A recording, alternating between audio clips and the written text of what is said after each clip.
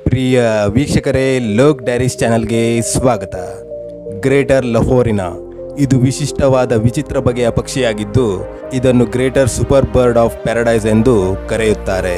ಎಂದರೆ, ಅದ್ಭುತವಾದ ಸ್ವರ್ಗದ ಪಕ್ಷಿ ಎಂಬ ಅರ್ಥವನ್ನು ಕೊಡುತ್ತದೆ. ಈ ಪಕ್ಷಿಯು ಹೆಸರೇ ಸೂಚಿಸುವಂತೆ ಇದರ ಹಾವಭಾವ ಇತರೆ ಪಕ್ಷಿಗಳಿಗೆ ಹೋಲಿಸಿದರೆ ಭಿನ್ನವಾಗಿವೆ. ಇದು ಕಪ್ಪು ಬಣ್ಣದಾಗಿದ್ದರೂ ನೋಡಲು ಆಕರ್ಷಕವಾಗಿ ಕಾಣಿಸುತ್ತದೆ. ಇದರ ಮೈ ಬಣ್ಣ ಪೂರ್ತಿಯಾಗಿ ಕಪ್ಪಾಗಿದ್ದರೂ ಕತ್ತಿನ ಕೆಳಗಡೆ ನೀಲಿ ಬಣ್ಣದ ಹೊಳೆಯುವ ಪಟ್ಟೆಯಿಂದ ವಿಭಿನ್ನವಾಗಿ ಕಾಣುತ್ತವೆ. ಇದು ಹೆಣ್ಣು ಪಕ್ಷಿಯ ಮುಂದೆ ನೃತ್ಯ ಮಾಡುವಾಗ ನವಿಲಿನ ಹಾಗೆ ಗರಿಯನ್ನು ಹರಡಿಕೊಳ್ಳುತ್ತದೆ. ವೃತ್ತಾಕಾರದ ಕಪ್ಪನೆಯ ಗರಿಯ ಮಧ್ಯದಲ್ಲಿ ಸ್ಮೈಲಿ ಫೇಸ್ನಂತೆ ಎದ್ದು ಕಾಣುತ್ತದೆ. ಇಂತಹ ವೇಷಭೂಷಣ ಗಂಡು ಹಕ್ಕಿಗೆ ಮಾತ್ರ ಇರುತ್ತದೆ. ಈ ಗಂಡು ಪಕ್ಷಿಯು ಹೆಣ್ಣು ಪಕ್ಷಿಯನ್ನು ಆಕರ್ಷಿಸಲು ಈ ರೀತಿಯ ವರ್ತನೆಯನ್ನು ತೋರುತ್ತದೆ. ಇದರ ಇಂತಹ ನಡವಳಿಕೆಯಿಂದಾಗಿ ಈ ಪಕ್ಷಿಯನ್ನು ವಿಶಿಷ್ಟ ಹಾಗೂ ವಿಭಿನ್ನ ಪಕ್ಷಿಯನ್ನಾಗಿ ಮಾಡುತ್ತದೆ. ಈ ವರ್ತನೆಯಿಂದಾಗಿ ಈ ಪಕ್ಷಿಯು ಪ್ರಸಿದ್ಧಿಯನ್ನು ಪಡೆದಿದೆ. ಈ ಹಕ್ಕಿಯು ಪ್ಯಾರಾಡೈಸಿಡೆ ಕುಟುಂಬ ವರ್ಗಕ್ಕೆ ಸೇರಿದ್ದು ಇದರಲ್ಲಿ ಮೂರು ಪ್ರಜಾತಿಗಳಿವೆ. ಅವುಗಳು ಯಾವುದೆಂದರೆ ಎಲ್ ಸುಪರ್ಬಾ, ಲೊಫೋರಿನ ಮೈನರ್ ಮತ್ತು ಲೊಫೋರಿನ ನಿಡ್ಡ. ಇದು ಸುಮಾರು ಇಪ್ಪತ್ತಾರು ಸೆಂಟಿಮೀಟರ್ ಉದ್ದದ ಪಕ್ಷಿಯಾಗಿದೆ. ಗಂಡು ಪಕ್ಷಿಯಲ್ಲಿ ಕಪ್ಪನೆಯ ಮೈಬಣ್ಣ ಹಾಗೂ ಹಸಿರಾದ ಕಿರೀಟ, ನೀಲಿ ಹಸಿರು ಮಿಶ್ರಿತ ಎದೆಯ ಮೈಬಣ್ಣ, ನಯವಾದ ನವಿಲುಗರಿ ಹಾಗೆ ಹರಡುವ ಗರಿಯು ಪಕ್ಷಿಯ ಹಿಂಭಾಗದಲ್ಲಿ ಆವರಿಸುತ್ತದೆ. ಹೆಣ್ಣು ಪಕ್ಷಿ ಗಂಡು ಪಕ್ಷಿಯ ರೀತಿ ಇರುವುದಿಲ್ಲ. ಇದು ಕೆಂಪು ಕಂದು ಮಿಶ್ರಿತ ಬಣ್ಣವನ್ನು ಹೊಂದಿರುತ್ತದೆ. ಹೆಣ್ಣು ಪಕ್ಷಿಯನ್ನು ಆಕರ್ಷಿಸುವ ಮೊದಲು ತನ್ನ ಸುತ್ತಮುತ್ತಲಿನ ಜಾಗದಲ್ಲಿ ಹರಡಿರುವ ಎಲೆಕಡ್ಡಿಗಳನ್ನು ತೆಗೆದುಹಾಕುತ್ತದೆ. ಗಂಡು ಹೆಣ್ಣು ಪಕ್ಷಿಯನ್ನು ಜೋರಾಗಿ ಕರೆಯುವುದರ ಮೂಲಕ ಆಕರ್ಷಿಸುತ್ತದೆ. ಹೆಣ್ಣು ಸಮೀಪಿಸಿದ ನಂತರ ಕಪ್ಪು ಗರಿಗಳ ಕೇಪನ್ನು ಹರಡುತ್ತದೆ. ಕತ್ತಿನ ಕೆಳಭಾಗದ ಹೊಳೆಯುವ ಪಟ್ಟಿಯಿಂದ ಅದ್ಭುತವಾದ ವೃತ್ತದ ಆಕಾರದ ಜೀವಿಯಾಗಿ ಕಾಣಿಸುತ್ತದೆ.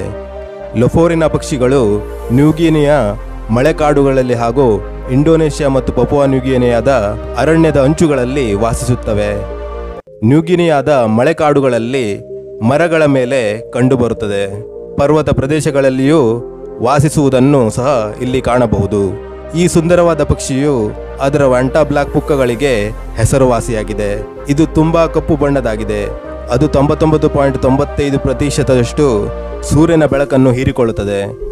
ಇವು ಲಫೋರಿನ ಹಣ್ಣುಗಳು, ಕೀಟಗಳು, ಕಪ್ಪೆ ಸರಿಸ್ರಪಗಳು ಮತ್ತು ಇತರೆ ಸಣ್ಣ ಪಕ್ಷಿಯನ್ನು ತಿನ್ನುತ್ತವೆ. ತನ್ನ ಬೇಟೆಯನ್ನು ಹಿಡಿಯಲು ಮರಗಳ ಮೇಲೆ ಓಡಾಡುತ್ತಿರುತ್ತವೆ. ಬೇಟೆಯಾಡುವ ಪಕ್ಷಿಗಳು ಹಾಗೂ ಹಾವುಗಳು ಪರಭಕ್ಷಕಗಳಾಗಿವೆ. ಲೊಫೋರಿನಗಳು ಎಲೆಗಳನ್ನು ಬಳಸಿ ಹಾಗೂ ಮೃದು ವಸ್ತುಗಳಿಂದ ಮರಗಳ ಮೇಲೆ ಗೂಡನ್ನು ರೂಪಿಸಿಕೊಳ್ಳುತ್ತದೆ. ಇವು ಒಂದರಿಂದ ಮೂರು ಮೊಟ್ಟೆಗಳನ್ನು ಇಡುತ್ತವೆ. ಮೊಟ್ಟೆಯಿಂದ ಮರಿ ಹೊರಬರಲು ಸುಮಾರು ಹದಿನಾರರಿಂದ ಇಪ್ಪತ್ತೆರಡು ದಿನಗಳನ್ನು ತೆಗೆದುಕೊಳ್ಳುತ್ತದೆ. ಹದಿನಾರರಿಂದ ಮೂವತ್ತು ದಿನಗಳ ನಂತರ ಇವು ಸ್ವತಂತ್ರವಾಗಿ ಬದುಕುತ್ತವೆ. ಇವು ಪ್ರಬುದ್ಧವಾಗಲು ಸುಮಾರು ಎರಡು ವರ್ಷಗಳನ್ನು ತೆಗೆದುಕೊಳ್ಳುತ್ತದೆ. ಹಾಗೂ ಗರಿಯನ್ನು ಅಭಿವೃದ್ಧಿಪಡಿಸಲು ಸುಮಾರು ನಾಲ್ಕರಿಂದ ಏಳು ವರ್ಷಗಳನ್ನು ತೆಗೆದುಕೊಳ್ಳುತ್ತದೆ. ಇತ್ ಗ್ರೇಟರ್ ಲಫೋರಿನ ಪಕ್ಷಿಯು ತ್ವರಿತವಾಗಿ ಹೆಜ್ಜೆ ಹಾಕಿ ಅಕ್ಕಪಕ್ಕಕ್ಕೆ ಚಲಿಸುತ್ತವೆ. ಹೆಣ್ಣನ್ನು ಕರೆದು ಕೂಗುವ ಇದರ ಧ್ವನಿ ಜಾತಿಗಳ ನಡುವೆ ವಿಭಿನ್ನವಾಗಿರುತ್ತವೆ. ವಯಸ್ಕ ಹೆಣ್ಣು ಲೆಫೋರಿನಗಳು ಇಪ್ಪತ್ತೈದು ಸೆಂಟಿಮೀಟರ್ ಉದ್ದವಾಗಿದ್ದು, ಐವತ್ತಾರರಿಂದ ಅರವತ್ತೆಂಟು ಗ್ರಾಂ ತೂಗುತ್ತವೆ. ಯುವ ಗಂಡು ಲೆಫೋರಿನಗಳ ಗರಿಗಳು ಹಲವಾರು ವರ್ಷಗಳವರೆಗೆ ಅಪಕ್ವವಾಗಿರುತ್ತವೆ. ಹಾಗೂ ಹೆಣ್ಣನ್ನು ಹೋಲುತ್ತವೆ.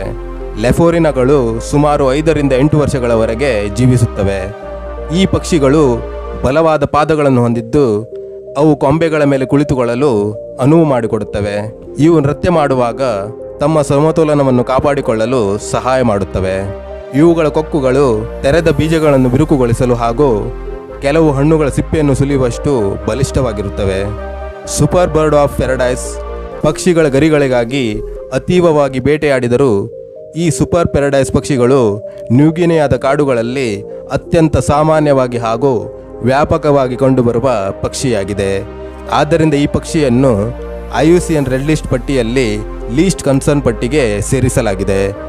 ಈ ಪಕ್ಷಿಯನ್ನು ಎರಡು ಸಾವಿರದ ಹದಿನಾರರಲ್ಲಿ ಕಾರ್ನಲ್ ಲ್ಯಾಬ್ ಆಫ್ ಅರ್ನಿಥಾಲಜಿ ಸಂಶೋಧಕ ಎಡ್ಸ್ಕೋಟ್ ಹಾಗೂ ಛಾಯಾಗ್ರಾಹಕ ಟಿಮ್ ಲ್ಯಾಮನ್ ನ್ಯೂಗಿನಿಯಾದ ಪಶ್ಚಿಮ ಪ್ರದೇಶದಲ್ಲಿ ಈ ಪಕ್ಷಿಯನ್ನು ಕಂಡುಹಿಡಿದರು. ಇದನ್ನು birds head Vogelkop peninsula ಎಂದು ಕರೆಯಲಾಯಿತು. ಪ್ರಿಯ ವೀಕ್ಷಕರೇ, ಇವಿಷ್ಟು ಈ ವಿಡದ ಮಾಹಿತಿಗಳು. ಇದೇ ರೀತಿಯ ವಿಡಿಯೋಗಳಿಗಾಗಿ ಚಾನಲನ್ನು ಸಬ್ಸ್ಕ್ರೈಬ್ ಮಾಡಿ ಶೇರ್ ಮಾಡಿ ಲೈಕ್ ಮಾಡಿ ಹಾಗೂ ಬೆಲ್ ಐಕಾನ್ ಒತ್ತುವುದನ್ನು ಮರೆಯಬೇಡಿ. ಧನ್ಯವಾದಗಳು.